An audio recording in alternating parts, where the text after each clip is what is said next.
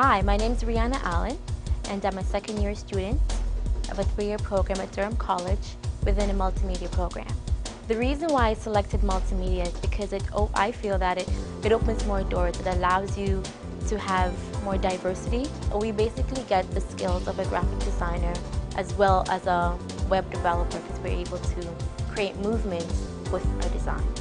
As a graduate of multimedia, it opens a vast variety of fields that you can get into. Um, certainly you can focus more on the audio, the video, you can work for different firms. It's great because for myself, I am most likely would go into the marketing or advertisement side of it because it allows that window as well. The professors are amazing because they allow office hours to ensure that if you do not get a certain material, that um, they make themselves available and it's amazing because I see throughout the different professors that they really make the effort to ensure that you succeed.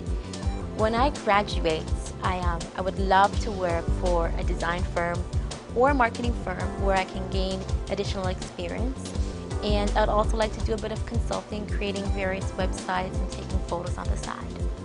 I definitely um, would recommend this program to any student that enjoys movement, enjoys creativity, and um, likes variety.